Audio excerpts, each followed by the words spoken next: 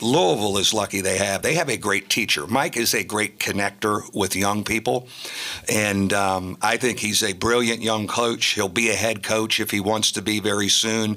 But the big guys in this program are lucky to have Mike because he's he's played inside. He's got great footwork and hands, but he's got a way of connecting with young people. I just I think he's really I'm very very proud of him. And uh, man, did he make me look good when I was a younger coach and had more hair and a whole bit.